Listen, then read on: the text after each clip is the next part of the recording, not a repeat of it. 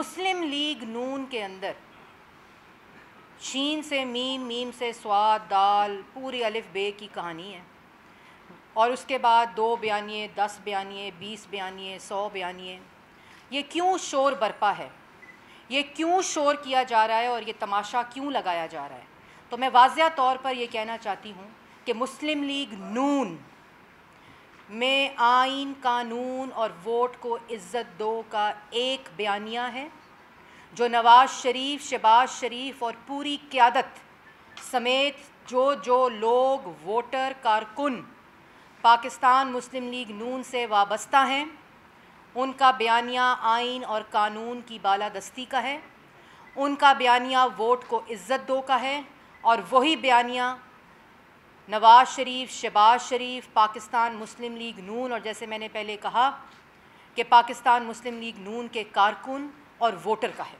और क्यों 25 जुलाई के बाद और तब तब ये शोर मचाया जाता है, डाइवर्ट करने की कोशिश की जाती है, सिर्फ़ उस वक़्त जिस वक़्त इलेक्शन चोरी करना होता है।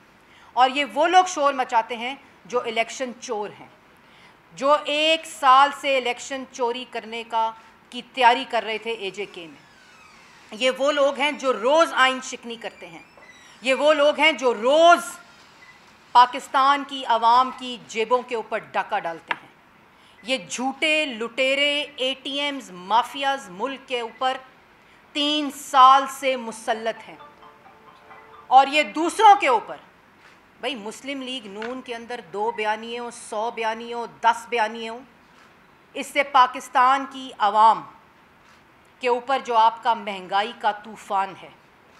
आपने जो पाकिस्तान की आवाम को बजट के बाद ढाई साल जो मुल्क के साथ किया और बजट के अंदर जो 2021 का बजट था और आज तक जो मुल्क के आवाम के ऊपर आप महँगाई का तूफ़ान हो, बेरोज़गारी हो, पाकिस्तान की आवाम आज इन आइन शिकनों जिनको 2018 में इलेक्शन को चोरी कर कर मुसलत किया गया, उस दिन भी 25 जुलाई थी।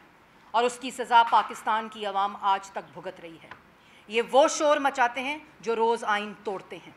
ये जानबूझ कर शोर मचाया जाता है तो मैंने वाजिया किया है कि मुस्लिम लीग नून का एक बयानिया है, वोट को इज़्ज़त दो, आइन और कानून की पासदारी।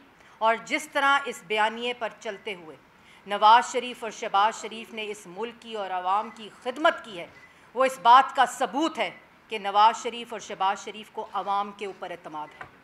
और जो लोग हर रोज़ आवाम की जेब पर डाका डालते हैं, चोरी करते हैं, झूठ बोलते हैं, उनका अतमाद अपने ए टी एम्स माफियाज के ऊपर होता है। इसलिए हर रोज़ पॉलिसी बनती है कि किस तरह आवाम का आटा चोरी हो, चीनी चोरी हो, आटा महँगा हो, चीनी महँगी हो और ए टी एम्स और माफियाज की जेबों को भरा जाए।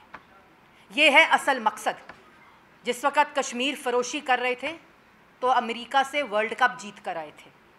और जब मोदी कैंपेन कर रहा था तो मोदी जीतेगा तो कश्मीर का मसला हल होगा।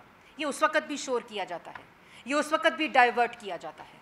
जिस वक़्त बजट आता है आवाम की जेबों पर डाका डाला जाता है। कहा था, कोई किसी किस्म का टैक्स नहीं लगेगा।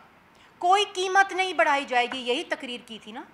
और आज ये शोर, ये डाइवर्जन सिर्फ़ इसलिए ये डाइवर्ट करने की कोशिश इसलिए कि मुल्क की तारीख की सबसे ज़्यादा महँगाई 16 फ़ीसद पर पहुँच गई, जो गरीब आवाम के लिए 20 फ़ीसद तक पहुँच चुकी है। आज मुल्क की महँगी तरीन इस वक्त बिजली और गैस है। एलएनजी इस वक्त महँगी तरीन मुल्क की तारीख में सबसे महँगी ख़रीदी गई। आज इसलिए ये तमाशा किया जा रहा है कि मुल्क के अंदर सोलह हज़ार अरब का कर्ज़ा ले लिया। इसलिए किया जा रहा है कि 35 अरब का ब्रॉडशीट के अंदर गए तो थे नवाज़ शरीफ के असासों को पकड़ने। वहाँ 35 अरब और उस 35 अरब खाली वो है जो ब्रॉडशीट ने क्लेम किया और कोर्ट ने कहा अगर ना दिया तो अकाउंट से निकाल लिया जाएगा पाकिस्तान के एम्बेसी के हाई कमीशन के।